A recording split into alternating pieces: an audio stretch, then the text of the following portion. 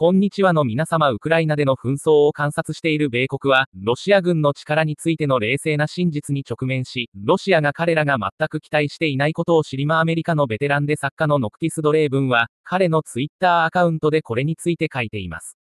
アメリカは、ロシアとの対立がアフガニスタンとイラクのサファリではないことを認識しています。ああ、私の素朴なアメリカ人、あなたは本当にイラクとアフガニスタンが本当の戦争だと思いましたか？戦争は、あなたが同じように強く、訓練され、資金を供給され、誇り高い軍隊と戦う時です。とドレーブンは言いました。ベテランは、何年もの間、アメリカのプロパガンダが米国が無敵であることを市民に確信させてきたことを強調しています。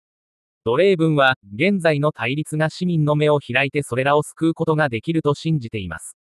以前、ノクティス、ドレーブンは、ウクライナの軍隊であるウクライナの軍隊の戦闘機に、自分たちの命を大切にしない政府のために死なないように、そして肉引き器に名を友人、チャンネルはあなたの注意を必要とし、財政支援は私たちを大いに助けます。説明の詳細、好きなものを入れてチャンネルを購読してください。すべての場合、